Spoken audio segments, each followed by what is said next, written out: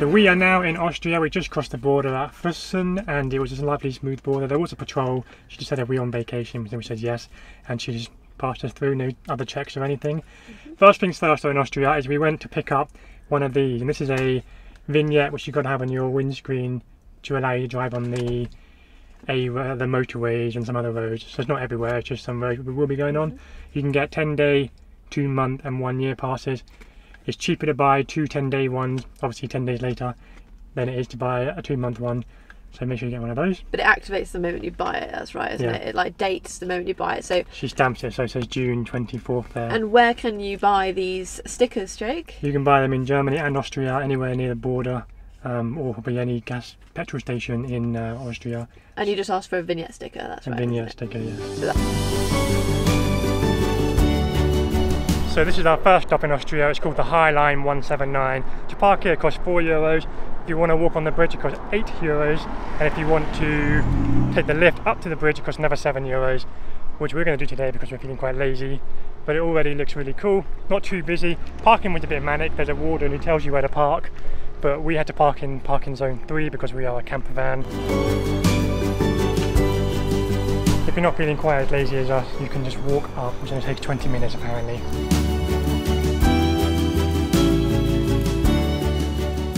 The cable car was quite enjoyable. It only took like two minutes or something. The lady reckoned it would take 20 minutes to walk up, but I think it would take me longer because I get out of breath quite quickly because of my asthma. But yeah, I recommend the cable car, but it was just like a lift, like lift doors and you get up and it's like a lift. It's not really like a cable car, but we're about to go on the bridge and I'm really excited.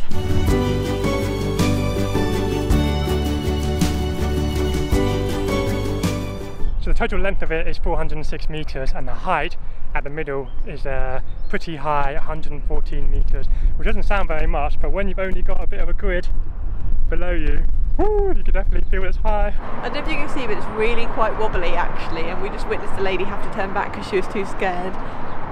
It's a lot more, I thought it was going to be more stable than this, but really when someone walks past it proper wobbles. Uh, so if you're scared of heights, then this would be a good challenge for you because it's not really scary, but kind of scary enough to put you out of your comfort zone.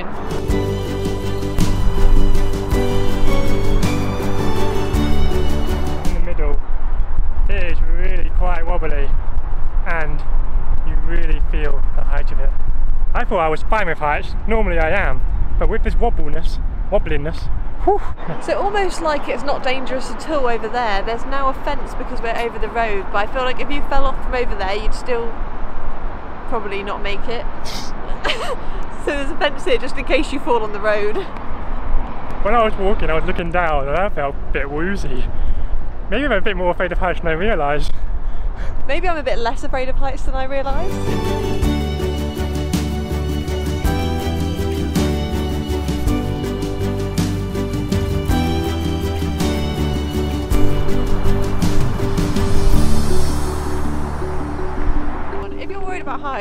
This could be what puts you out of your fear. This could be the thing that you do that makes it all better. I recommend it. But this isn't the only thing you can do in the area. Right next to the bridge there's a castle ruin to explore.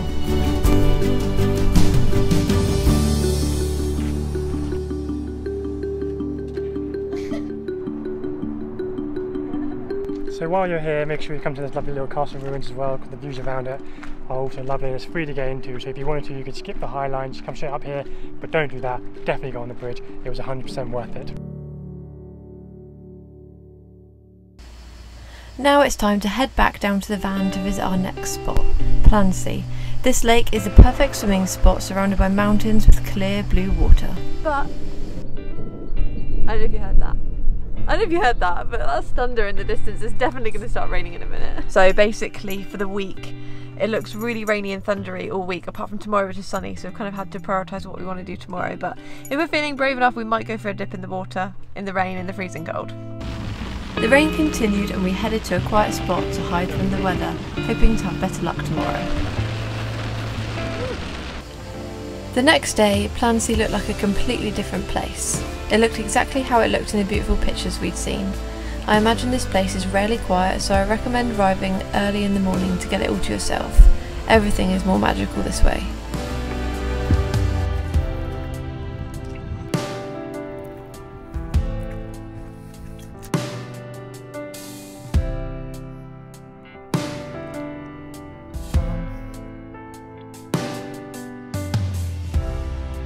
Good morning and welcome to day two of Austria. Now today we have come back to Lake Plansee. Yeah, we really, really, really wanted to see this place in all its glory because yesterday, obviously, it was pouring down with rain and we couldn't really see how blue the water was or anything because it was just chucking it down. So we went to a campsite last night, which was meant to be 10 euros, but he ended up charging us like way more for some reason. It was 10 Um, euros for parking, 2 euros each for our using sanitary, it's like the bathroom area, and then 3 euros each for tourist tax in Austria. I I don't think it should have been three euros each. I think it should have been like a percentage, a smaller Yeah. percentage of it. But anyway, we just sucked it up and paid it, and now we're here, and it is absolutely beautiful. the water is so clear and so incredibly green, blue, turquoise. Mm. We're going to have a day, day here, just enjoy it, swim, jump Yeah. up the bridge, enjoy and soak up the sun.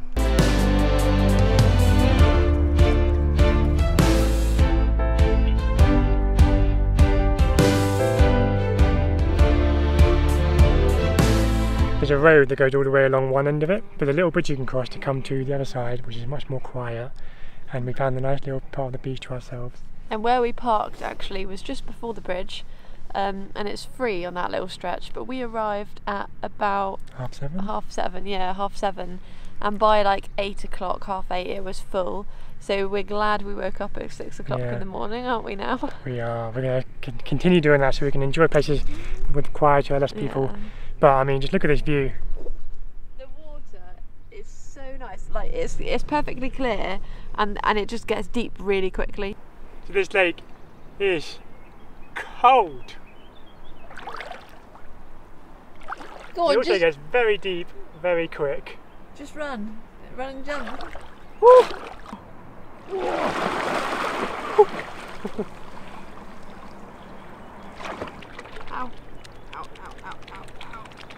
Oh my god, it hurts so much. Ouch.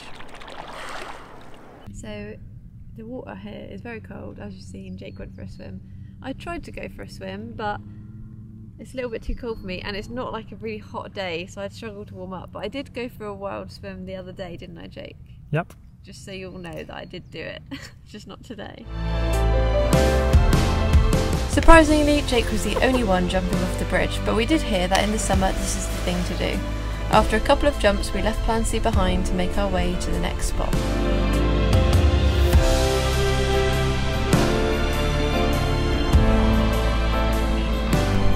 Definitely, definitely recommend going to that lake because it was fantastic. The colour of the water, the clarity, just beautiful.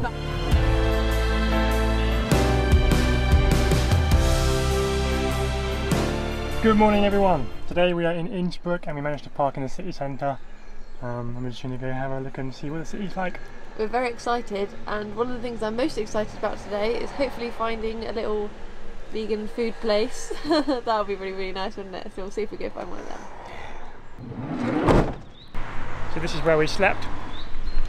Nice view of the mountains. We're not really used to sleeping in like city centres, but it wasn't actually too noisy. There's some trucks along, like blocking us from the road, if you know what I mean. So we didn't get many beeps because nobody could really see us from the road because the truck drivers are allowed to sleep here. So it was actually fine. And it's paid parking in the week but free on the weekend and we are here on a Sunday so free parking baby.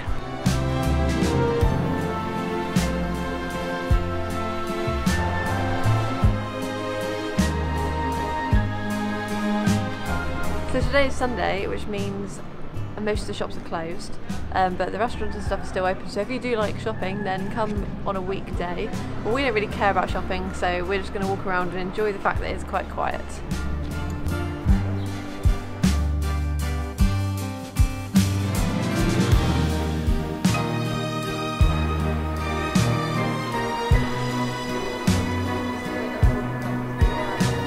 So usually we don't um, go to like a cafe and have a drink because we just are quite obsessed with saving money all the time. Well, we're not obsessed with it. We just don't spend money pretty much.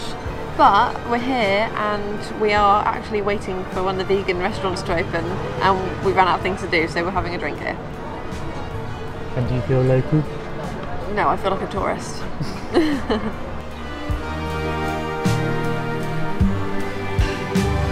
We said we'd have at least one meal out in each country we visit, so here we are at this fully vegan restaurant ready to stuff our faces. Takes me right back to the good old days. So just to let you know, the way to Jake's heart is Good food. food. And also, if you didn't know, Austria has a 10% vegetarian population and about 1.5 is vegan. But this is this place is fully vegan. It's called the Green Flamingo, and this is the Flamingo Burrito, and it smells heavenly. Have a bite, let's watch you eat. Oh, They're good. packed full of flavour. These chips are so good. I'm so excited to eat that. What me and Jake do sometimes we choose a thing off the menu each and then we'll have half each so we get to try half. So I've got to cut this in half and then I get half of Jake's burrito. So remember just a few minutes ago when I said the car park was free, it turns out it's not free. And uh, we just came back from the restaurant, we had a little chill in the van and we saw someone writing a number plate down. So I jumped outside, I was like, what's up? He said, he's giving me a ticket because it's not free. Um, even though the sign, the machine said it was free on Saturdays and Sundays. So I was like, oh, okay, okay, sure. Very confused. Beth done some research though, luckily it's only going to be a 25 euro fee. Um, but still a bummer, we could have used that on a campsite. But I still can't work out why we got a ticket because it's supposed to be free and then some other man gave us his ticket for the rest of the day. I asked him, isn't it free? He said, oh, it's only until April. But the uh, another thing weird about it though is that the it was just all electronic, so we don't know we got a ticket until I guess it comes to Beth's address where the caravan is registered. Well, my parents' address. So, mum and dad, if you get a letter um, with my name on it, it's probably a parking ticket. Yeah. And my mum and dad are quite good at sorting out our, uh, what we call it, admin. Admin. Because in France we got one, and it was a it was a speeding ticket, wasn't it, Jake? Jake was speeding, so mum and dad sent us a picture of it so that we could pay it. So that's a bit of a bummer, bit of a downer on our visit to Innsbruck, but I'm not feeling bummed by it. no, but I know, but it's like we could have spent that on a campsite, and uh, so we've got a ticket now, so we're going to stay for the rest of the day. Tomorrow we're going to have fun. We're going on to an alpine slide. We can't wait for that. Mm. And right now Beth is making us a little treat to to make us feel better. What are you I'm making? making a smoothie, a frozen smoothie bowl. These frozen bananas, which are really quite brown. Oh yeah. So it's gonna be a nice, nice one. So if you blend frozen bananas and We'll, mix it. we'll show you. We'll show Yeah, you. no, but I'm telling you, if you blend frozen bananas and you mix it with anything else, like even if you want berries, make it even more sorbet-ish, we're going to blend it with coconut powder, cocoa powder, and uh, mix like a chocolate ice cream. Call it an ice cream. That's a lot of banana.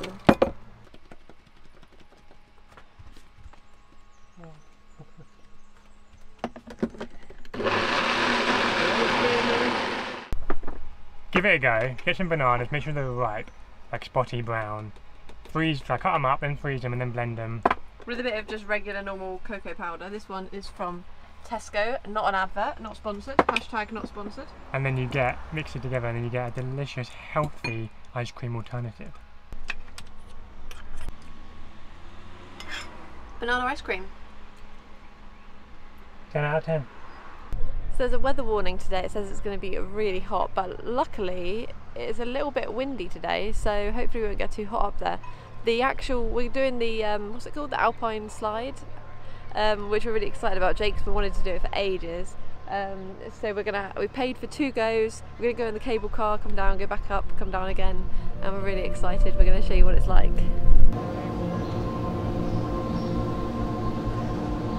Uh, we've seen loads of videos of this place, so we're so keen to give it a go. Oh, and you can actually see the, the luge, the slide here. So there's little bars. And I was just looking that you go through some kind of little tunnel there. It looks really steep, and Jake told me you have to control the brake yourself. That makes me a bit nervous.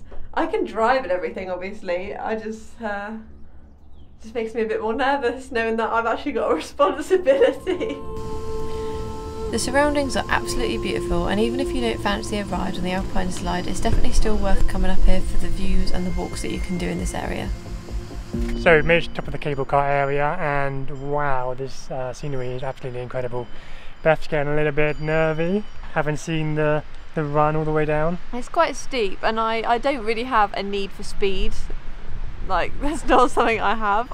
But yeah, we'll see how it goes.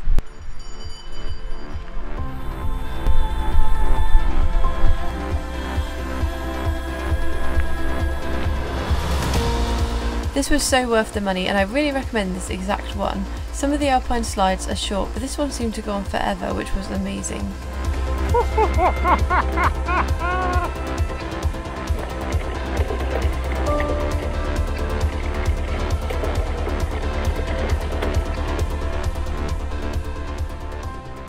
So we just made it back down from the uh, Alpine slide and we're so happy we bought two tickets because it was incredible Yeah. fun. I don't think I would have been satisfied going down one time because I was a bit on like I was a bit nervous thinking I was going to fall off, but now I've done it once, I can go down a bit faster next time. It was so good. You don't realise how steep it gets and then basically you have to push forward to go to like release the clamp and then push back to clamp and brake.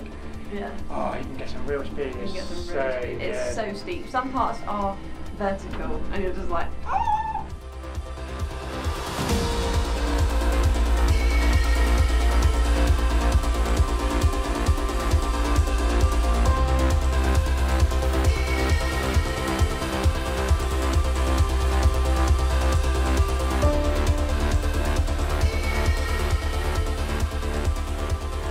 That was so much fun. And honestly, if you're going to go, you need to get at least two rides down. It is more expensive, obviously, Yeah. And a third ride's only like six euros more than two, so so maybe we should have done three. But do you know what? The first time I was a bit more nervous, and the second time I just didn't put my brakes on. I just went. Let's just slow down slightly around the corners, and it took Jake ages to catch up with me. it did. Um, It was really good. so so much fun. Def- if you're in, anywhere near Innsbruck, highly highly recommend coming to check this spot out. So we have, well, we've not just woken up, but we've been hanging around this morning getting some stuff done. We have been sleeping tonight in a truck stop, and it had a few surprises, didn't it, Jake? First of all, Jake was wandering around, and we didn't think we were going to be able to have a shower tonight, but it did have a shower, and we thought we didn't have a one euro coin, but we actually did in the end. So we had a shower, which was really, really nice. Jake, show them the view. Show them our beautiful view. So it's a motorway rest stop area, Yeah. which means we got to sleep with the beautiful sound of the humming cars. Yeah, it wasn't too bad. But even like in Austria, even like a truck stop, there are still mountains surrounding us. So like you wake up in the morning and you don't think, oh, I've woken up in a really ugly place because it's still just surrounded by mountains, Yeah. aren't we? So if you're on a budget and you don't want to spend money on campsites, then you can always use rest areas here. You're not going to have the nicest sleep or the nicest scenery, scenery around you, but But it's still not that makes bad. it doable.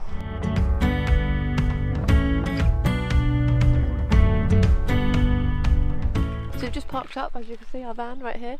Um, it's quite a big car park. It's not very busy at all. Um, it is three pound for three hours. So he said. That's right. And this is a spot that we found using the Google Maps attractions thing rather than reading about it on a blog or, word, Yeah. or word of mouth. Which is my I Jake Jake is good at reading blogs and doing all that research, and I quite like just looking on Google Maps and looking at the attractions. I don't know why I like to read all the reviews and stuff like that. Um, so this is one of them.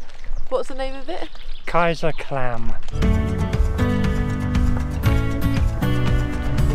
Oh, this is certainly off to a good start. It's so cool. So you take a pathway along the rock edge. You really are in the gorge, and it's so green.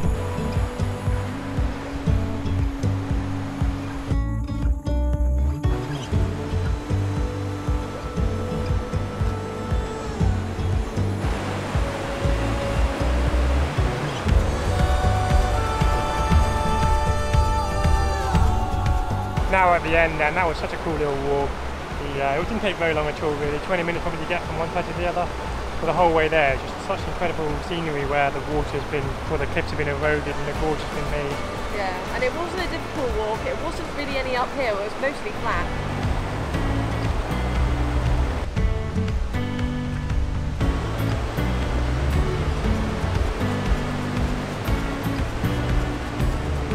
What do you reckon? I think it was very nice. It was a very very short walk. So don't come here thinking that you've got hours and hours that you could walk around because oh, you could actually continue the walk on through the foresty part, um, but we just wanted to see like the gorge and stuff, didn't we? Yes, and there's loads of these Klamm gorge type things all over this area. We just chose that one because it looked interesting. Happened to be a free one as well, apart from the parking. Yeah. Some of them you do have to pay for, but I guess the structures are more built up, so it makes sense. yeah.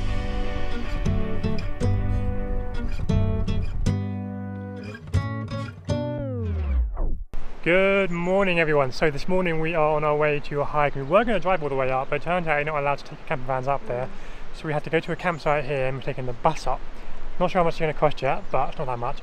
The campsite was 15 euros for the night. However, we got lucky and a boy gave us his night ticket because he was going. Yeah, it was really nice. We parked up and um, a guy was like, "Oh, I'm leaving. Do you want my ticket? It lasts all night." And so, luckily we had that. But we basically drove up last night to where like the gate is where they let you through, and the lady said, "Yeah, well, you can't take your van up there." So we were like, "Okay."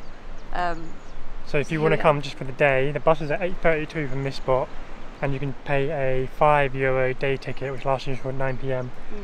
Um, so now we're going up to about 2,000 metres. 12 euros one way. That's why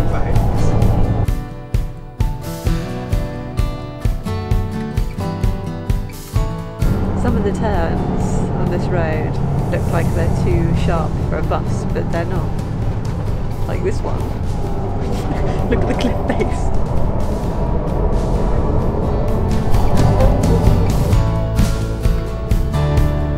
Look at that view! So the bus up here was very uh, efficient. He was extremely well talented, that bus driver. He was quite fast. He was going up the roads quite fast. So we've made it to the reservoir and now we're going to take uh, track trail number 502 which is the more direct route straight to the hut and to the famous viewpoint which we're visiting today.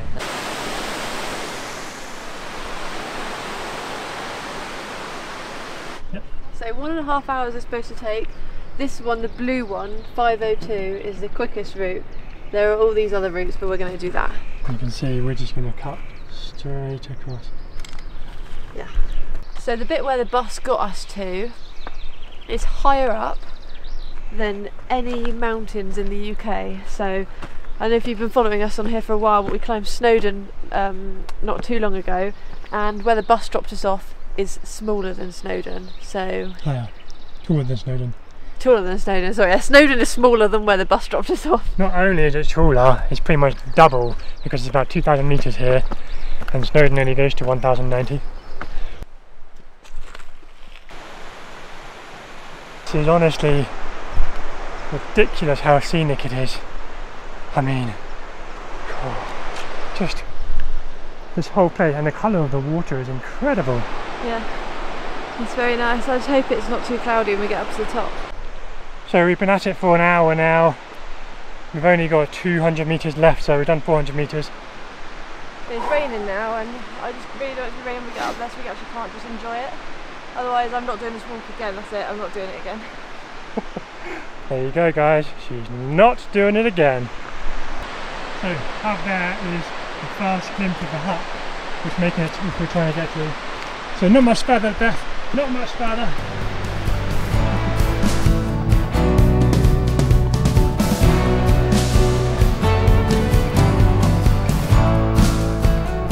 So we're a few minutes away from the hut and seven minutes behind schedule on the one and a half hour thing, so that's not too bad.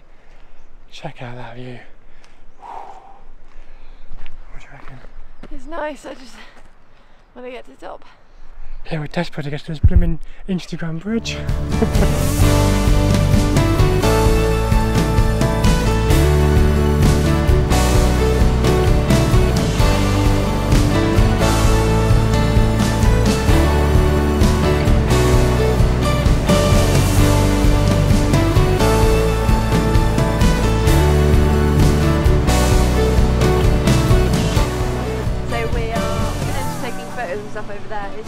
quiet. It is definitely worth, worth the hike up, even though halfway through the hike I got a bit grumpy because it was raining and I just couldn't be bothered anymore. Yeah, it's worth it when you get up here because it is actually really nice. and we've lucked out with the weather today. And Yeah. because of the weather being risk, like looking like it wasn't really bad, maybe it's quieter than it normally is. Yeah. The clouds are starting to roll in, which is really nice to see.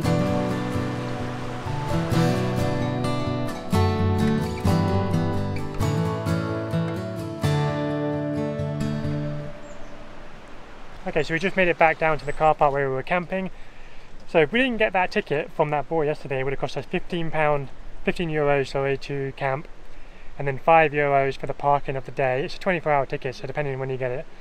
And then it costed us 12 euros to get up on the bus together for the two of us. 8 euros for the ticket, 4 euros for the toll, and then we had to pay the toll again on the bus coming back. So it was 12 euros and 12 euros. That's 24 euros just to get the bus up. So if you wanted to come here, basically you'd be paying 15 euros for the night, plus five for the day, um, plus 12 for one person to go up on the bus. It'd be 44 euros just to do that walk. Yeah, it's expensive. But if you're in a car, obviously you don't have to take the bus, Yeah. and uh, and you have to pay. So you, I don't know how much it is, but you don't, you pay the toll on in your car, and then pay for the car park at the top. It only costs 14 euros if, you, if you're driving us up there. Oh, does it? Yeah. Oh, so it's cheaper to be in a car, not be in a van then. Yeah. But there was a little van up there. Um, it's just yeah, but whatever. That's the rules. The rules. So Still an incredible hike, just wish it didn't cost so much. yeah. I've got clean hair. Onwards to our next spot, and we're finally leaving the Tyrol region, which means wilderness parking camping is more lenient and allowed.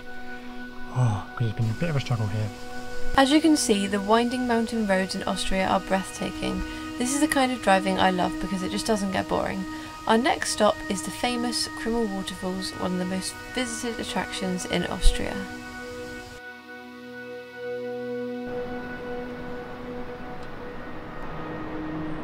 Good morning, it's another day today, and we were up bright and early to try and find a decent parking spot, but all the parking lots were closed with no, because there's only a person operated payment. Yeah, there was just no human around to take up our payment, so we couldn't go anywhere because we didn't want to leave the van without a ticket on it and get an expensive parking fine. But we actually managed to find one in the town for free. Yeah. So we parked there, it was a bit of a longer walk, Not that long though. It was only like ten minutes Yeah. or something. and now we're about to go into the waterfall area. Now this footpath's apparently a paid one, I think it's four euros per person. Um, And the ticket booth's right up there by the looks of it. yes. So we're about to see Krim, I've uh, made, maybe it's Krimler, I've been learning last night, so Krimler waterfalls. Krimler or Krimml waterfalls. So in the end, it wasn't four euros each; it was five euros each, and we got a map as well. Let's hope it's worth it, but we'll soon find out.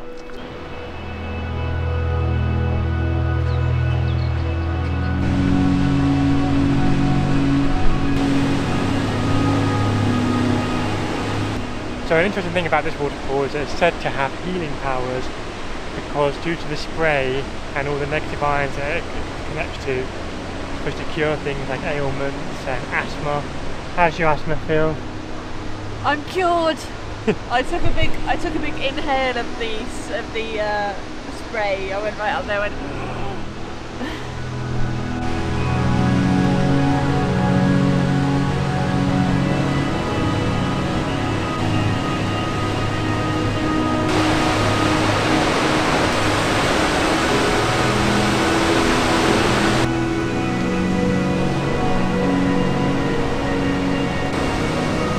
This is one of the viewpoints. There's loads and loads of viewpoints that you can do all the way up the path. You don't even have to go to the top to get the best viewpoints. I reckon some of the best ones are probably down here. Um, but we'll carry on up and show you the rest of the viewpoints.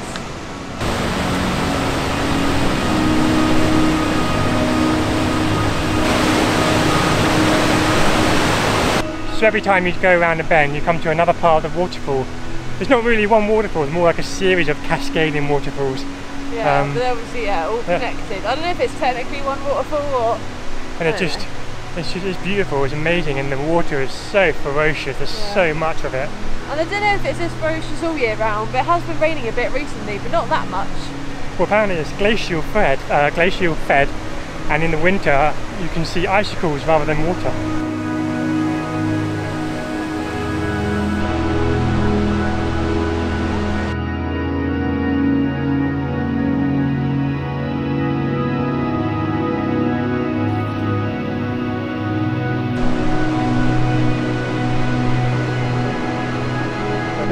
Far as we are going today. The next, the rest of the path just takes you above this last waterfall, and we're happy seeing it from the bottom. Yeah, but the whole walk was actually quite easy. We just walked really slow, and uh, here we are. Yeah, So we're gonna go back down yeah. and then have a nice chill out because next we are making our way to Italy. And that brings us to the end of the video. If you did enjoy it, please feel free to give us a thumbs up and subscribe so you don't miss our next video because we are currently in Italy, and it's already been so incredible. We can't wait to show you what we've been up to. So stick around and we'll see you next week.